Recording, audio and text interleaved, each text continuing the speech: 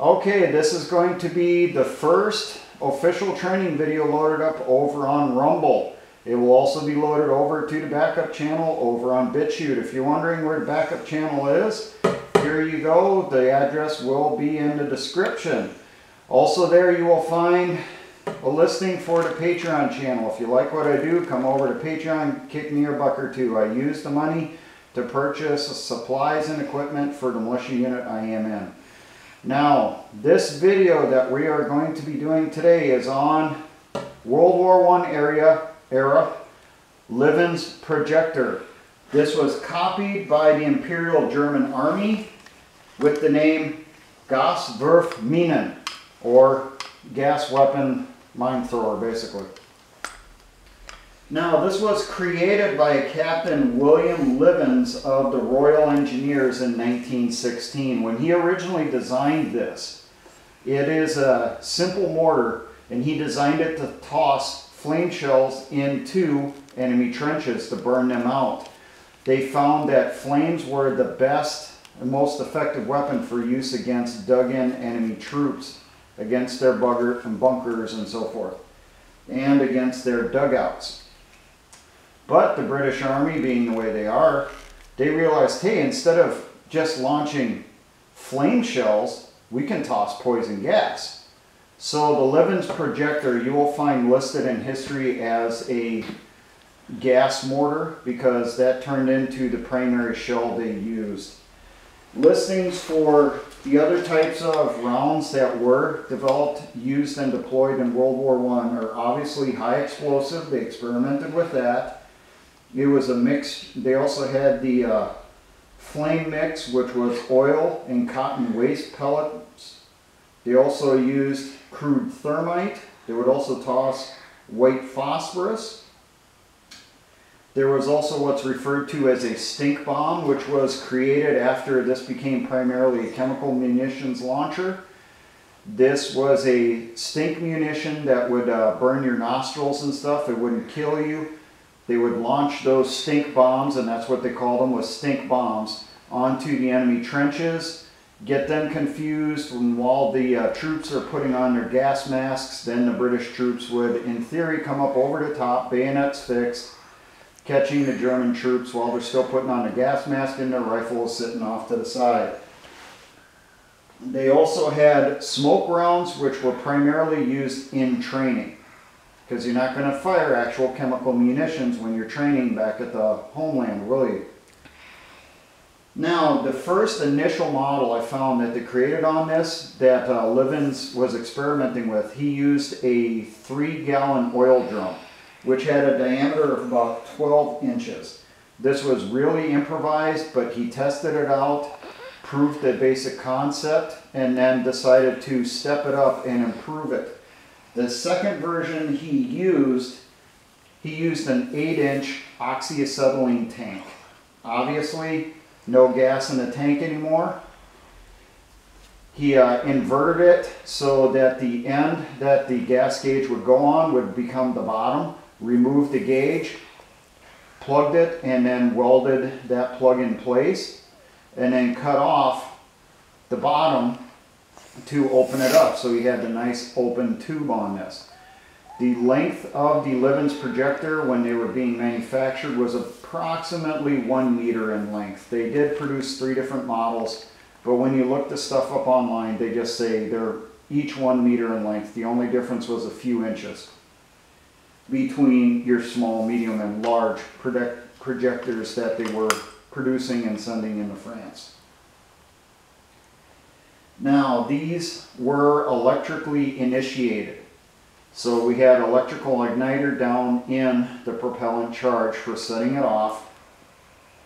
That's the only way you could ignite it. There was no touch hole on here that you put a fuse in like on a cannon and then light it off. If you did it that way, then the uh, sides of our tube here would not be thick enough and you just have a giant uh, explosion. But setting it off as uh, electric initiation, you have no openings down here at what essentially is your breech. So you got nowhere that it, in theory, would breach out, but you always had to be uh, prepared for the possibility that one of these would crack and detonate when you're trying to use it. Now, from what I found on the product, production ones, the tube itself was about 100 pounds. Remember, they're using oxyacetylene tanks. You got thicker walls on those tanks. The base plate alone, which was made out of quarter inch steel, was around 28 pounds. So it itself is a big heavy bastard. This thing is basically square, concave in the center. Here, I can do a good example. Think of like this. See how it bows down in the center? This is essentially what the base plate would look like. You have the opening in the center here that the tube would sit down on.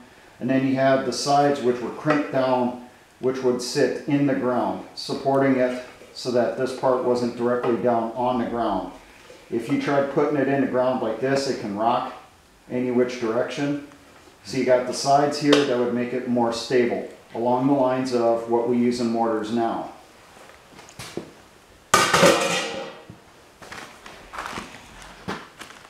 Now, what they would do with these, these would be in place behind friendly trenches, so they would be out of observation of the enemy troops from their trench and from their observation balloons. They would put these in at night, go through, dig out a trench, and these were typically put in in clusters of about 25. And they would just put in a big string of them. Dig out a trench, you got the flat back here, which is at a steeper angle. Your front of your trench, which is towards the enemy, is approximately 45 degrees. Now, before, after they would put in the projector, they'd first put in a base plate, then they'd put in a tube. They had an inclinometer, a small little piece of wood that they would put on there, and it would let them know when it's at a 45 degree angle, if they had to lower it or raise it to get the 45. All the firing tables for this were set for the 45 degree angle. After they got it put in place, they would go through, take the spoil from the trench, put it over the launcher or the projector, using their terminology. Originally, they would go right up to a couple inches from the end here, covering the whole thing with spoil, even if they had to dig some from somewhere else and bring it in to cover it up. But they realized what they had to cover, and pretty much the only thing they had to cover, was essentially where your breech is down here, where the propellant charge is. So they just made sure they had a good, safe foot of earth and packed it in over the top and a little bit underneath to support it so that this will not blow out. Now for loading this, the first thing they would put in there is the propellant charge. And the propellant charge came inside a can that was three pieces. You had the bottom casing, you had the cover which was called the gas check, and then you would have the propellant bags inside. One of those propellant bags would be wired up with the igniter. Now the propellant they were using was just basic smokeless powder is what I came across. And these bags were four and eight ounce packs. I'm just looking here to make sure if I can find the note. So yep, up to 32 ounces of propellant could be used inside the projector to get the maximum range. The uh, so you could go from 4 ounces to 32 ounces. Some of your bags were 8 ounce bags, some of, most of them were 4 ounce bags. One of them would be primed with your igniter. You'd put in whatever amount of bags is required to get the range that you want. Run the lead up over the top through a little notch in the can here, out, put the gas check on, and it would sit together as its little can. You would put the propellant can down inside, making sure to run the electrical lead along the top edge of the projector, out from the projector and then up over the top and it would be run back to the main firing wire tied in. All the projectors in that little section of it, usually they did it, it looked like in groups of five. All five wires coming through to one wire And then that one main firing wire would go back to the firing position, and you'd have five other firing positions in that trench in your giant series wired up to either your blast machine or a battery when you're going to launch it. You're not going to attach the uh, blast machine or the battery to the firing wire while you're setting it up, obviously. But after you got the leads in here, it's sitting off the back. It would be unshunted. They're taken apart. You would then put in your cylinder, your ammunition, your propellant charge. Now you had on this the burster, which was a big rod, really about as long as my, uh, maybe a little bit longer, as my mine probe. The top part of it was the a crude impact fuse, and then you had an artillery bursting charge from an artillery shell was attached to the fuse, and the whole thing was screwed into the canister under this big channel. Now they did have, it said uh, when these were getting filled in the field, you would fill them from the back it, when they were using the chemical munitions and flame munitions. They had a fill plug on the back, a little plug on the back here, and then they'd have the little ports going into the tank. So they're pouring the chemicals inside, it would hit that little plug here, and they would fill it up. So you'd have it upside down, fill it, then they would put a cap over the back here, which would be a little bit thicker of a plug to keep the filler inside. And then when they're up at the firing position, they're getting ready to load it, they would screw in the burster charge and the fuse, then they would put the whole thing down into the projector, seating it down on the top of the gas check over the propellant charge.